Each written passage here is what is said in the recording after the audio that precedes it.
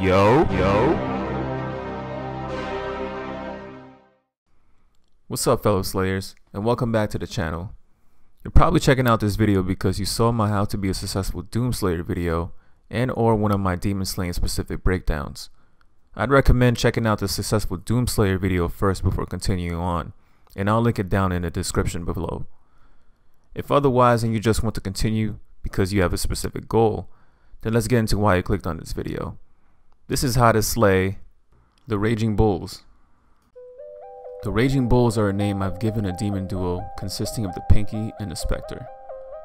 Like the Crusaders or the Flying Saucers, these two can be grouped together due to the fact that, well, they're the exact same demon.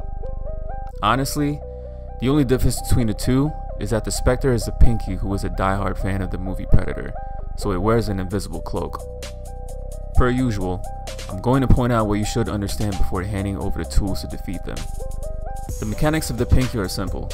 It charges at you screaming like an idiot to ram you with its hard exoskeleton.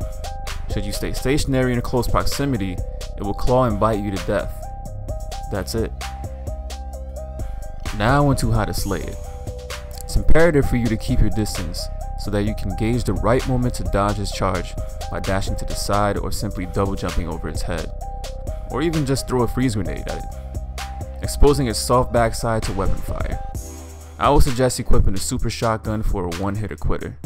Or if you simply don't have time for the BS, serve it a good old blood punch to the face and it'll be reduced to mincemeat. And that's it for me guys. I hope this guide helped in making Doom Eternal more fun and taking your steps to becoming a great slayer. Thank you for taking the time to watch this video and or any other guides I have up. If you have any tips of your own that you'd like to share amongst the Slayer community, share it down below in the comments. If you found this video helpful, leave a like so that I may have a clue on the type of content you'd like to see more on this channel.